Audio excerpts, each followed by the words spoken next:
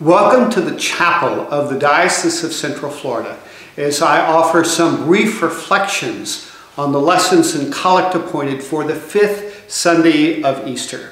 And so I would like to begin by offering that collect, that prayer now. Let us pray. Almighty God, whom truly to know is everlasting life, grant us so perfectly to know your Son, Jesus Christ, to be the way, the truth, and the life, that we may steadfastly follow his steps in the way that leads to eternal life.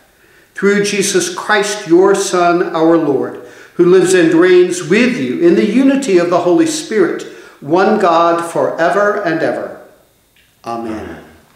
The gospel lesson today from the 14th chapter of John is a familiar one. Jesus offers these words that we hear actually more often than not at funerals. Do not let your heart be troubled. Believe in God, believe also in me. In my Father's house there are many dwelling places. If it were not so, would I have told you that I go to prepare a place for you? And if I go and prepare a place for you, I will come again and take you to myself, so that where I am, there you may be also. And you know the way to the place where I am going. Thomas said to him, Lord, we do not know where you are going. How can we know the way? Jesus said to him, I am the way, and the truth, and the life. No one comes to the Father except through me. I know that my experience of what it means to be a Christian walking with Jesus is that I often say to Jesus, I'm not sure I know the way. I think I know who you are. You and your graciousness have revealed that, that you are the Christ, the Son of the living God. In you is eternal life. In you, I have the promise of forgiveness of sins a place with you in heaven. But how I get from A to B, the, the way, I'm not often sure that I know what that is. And that can particularly be what we are feeling now because things that we thought were the way that we should go, whether we're talking about financially, whether we are talking about even the matter of medicine and life and death, who lives and who dies are things that we face that we don't know. We live in an era which, at least for the generations living, is an unprecedented time of financial, emotional, relational, economic, and even political upheaval. And it's compounded by the fact that everybody has a grand narrative that they want to tell you, if you listen to me, I'll tell you what the truth is. Don't believe those people over there. whoever those people are. And it happens across the political and socioeconomic spectrum. No one, quite frankly, is immune. Everyone is claiming to have the best insider information. And we, who are used to, as an educated people, understanding that the way you master a situation is to get the best information, are extraordinarily gullible to those very Barker calls, in my opinion, about what are we to think. And as a result, how are we to live?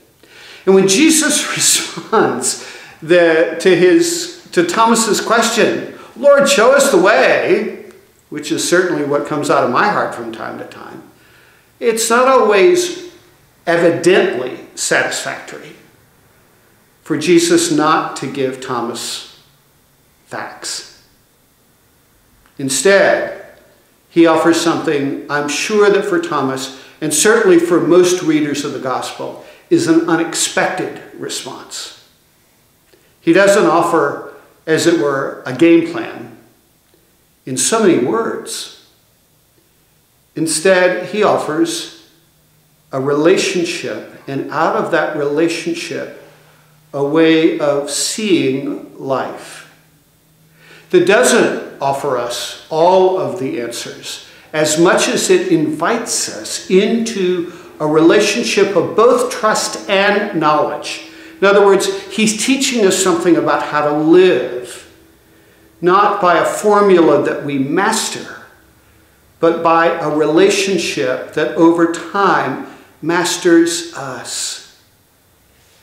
That's not something that we're used to.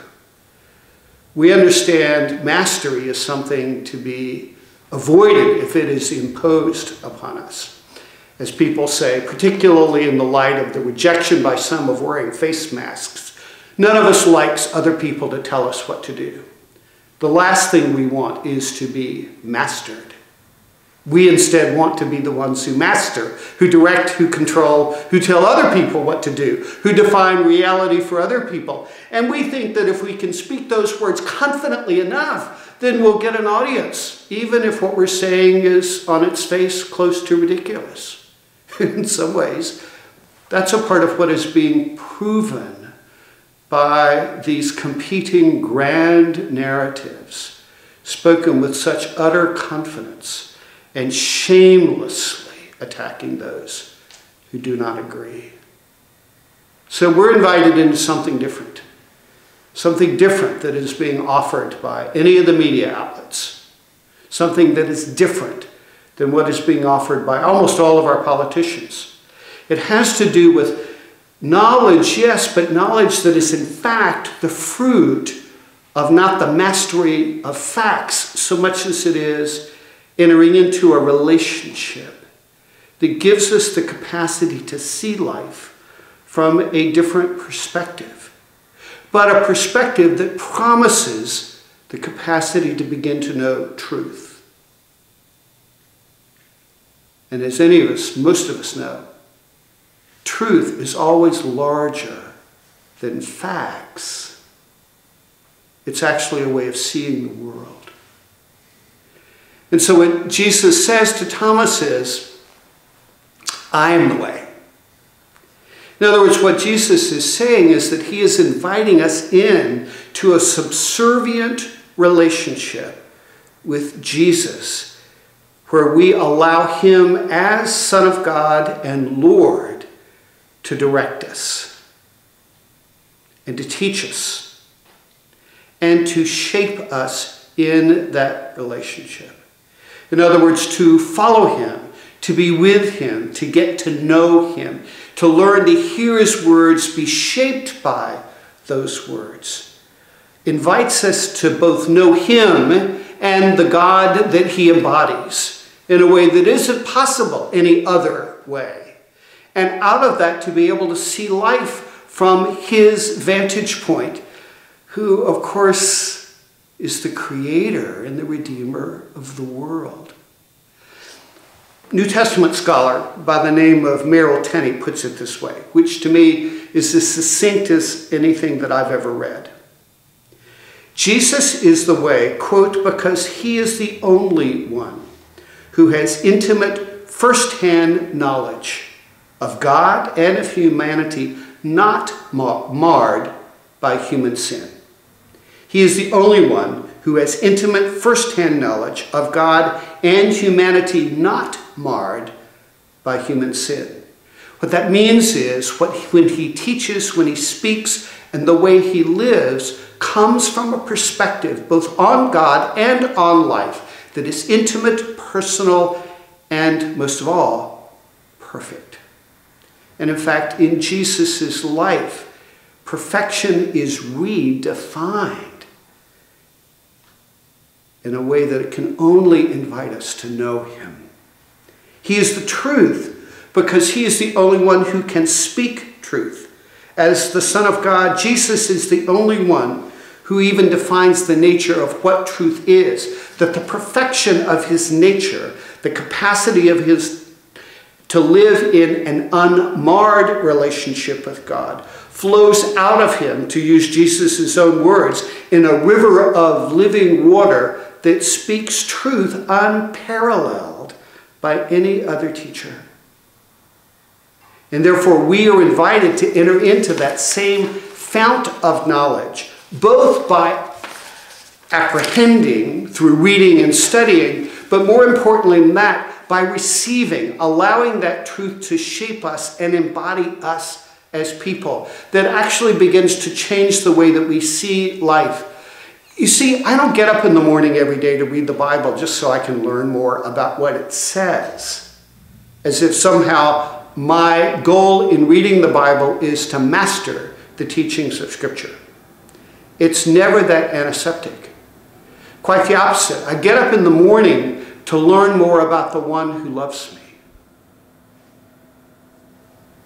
And to know more about how I am loved.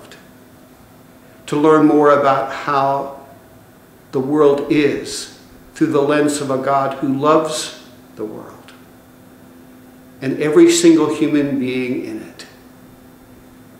You see, to be in a relationship with Jesus, who is the truth, means that we are being given the capacity to know the truth and to receive the truth. We feed on his words daily to learn the truth and be shaped by that truth.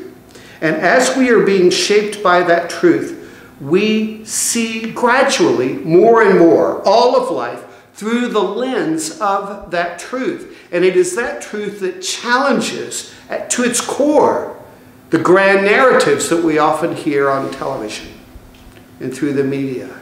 It gives us the capacity to step back, to ask difficult questions, to include in the lens of what we believe to be the truth. Sometimes things that we like and sometimes things that we don't. Walter Brueggemann puts it this way To live in Jesus is to be able to begin to actually see reality rather than ideology. The things that we have been taught are true, which may or may not be through the lens of Jesus, which means it gives us the courage actually to face both the best and the worst of life and to hold both of these those things together as a definition of what life right now on this side of the resurrection actually looks like. I mean, for me, I saw it this week. I mean, just a couple of days ago, I'm sitting in my living room and I'm looking out on the front lawn and the driveway. Here came this huge caravan of high school students in cars.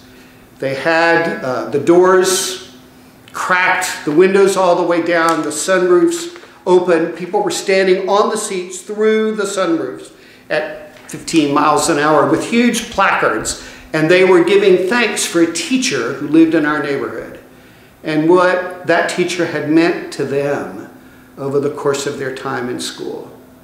That kind of gratitude is very much a part of what life is like. And it is something to be warmly received and welcomed. Also, many of us know about the unfortunate, tragic story of the black man shot in a white neighborhood in Brunswick, Georgia by two unarmed off-duty police officers. And all of that raises about profiling and how all of that was to the best of our knowledge now, not seriously investigated, but covered up. Both of those things are true, you see, about the world in which we live. And to actually ignore either of those is to say something other than what reality is.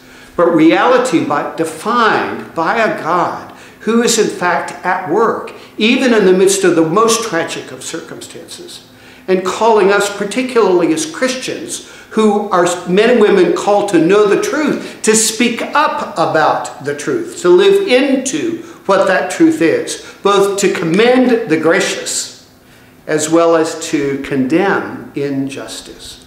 Both of those are very important, particularly now in the life in which we live. You see, He is the life because he is the only one who did more than live with the inevitability of death.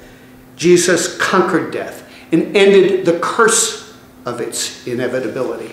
In fact, the way Jesus is, speaks in this passage, what he's actually doing is redefining the terms of life to say that the end of life is, in fact, and what gives meaning to life, is that it doesn't just end in meaningless death it is transformed by the eternal presence of Jesus in eternity, so that there is, in fact, a place being prepared for us right now. But not only that, he is actually at work in us as he is the way to that destination, working in us to prepare us for the place that he is preparing. What is Jesus doing? Among other things, he is preparing us and even the world that he has redeemed for the place that he is preparing. Teaching us now what it means for wrongs to be made right, for sins to be forgiven, not only in our receiving forgiveness, but also the freedom to offer forgiveness and to let go of wounds and hurts, not as a way to deny their existence, but to affirm something larger and bigger, which is Jesus conquering death.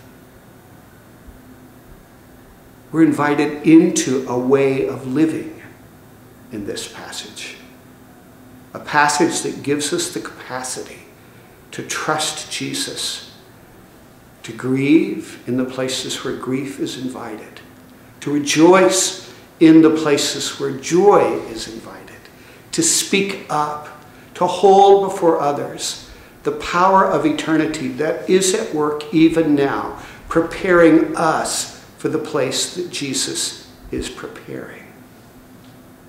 That's what it means in the collect when it invites us to follow where He leads. So that I'm not mastering information.